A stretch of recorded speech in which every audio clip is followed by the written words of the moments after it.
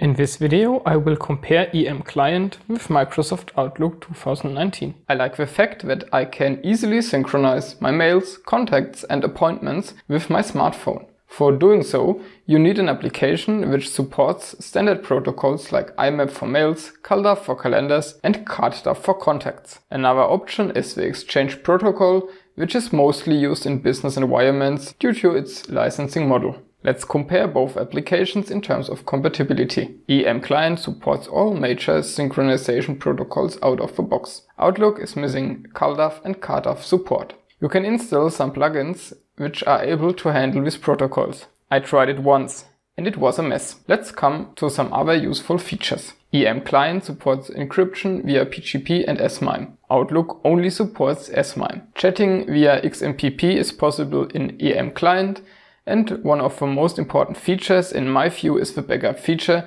which is missing in Outlook. To have no option to save and backup contacts, appointments and mails with a fixed schedule is a major showstopper. The pricing comparison is not very fair because Outlook is only shipped with the whole Office bundle. The Home and Business bundle, which contains Outlook, costs about 250 euros. Outlook does not come with a free version and if you like to have a lifetime license, you have to pay 70 bucks every year. EM Client is more flexible. It has a free version, which allows you to have two mail accounts configured, and you can get a lifetime license with a single payment.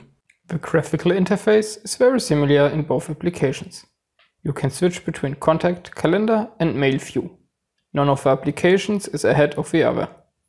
The usage is very intuitive and I do not have any major critics. What do you think about my comparison? Did I miss some points? Do you have a different opinion? Please let me know in the comments.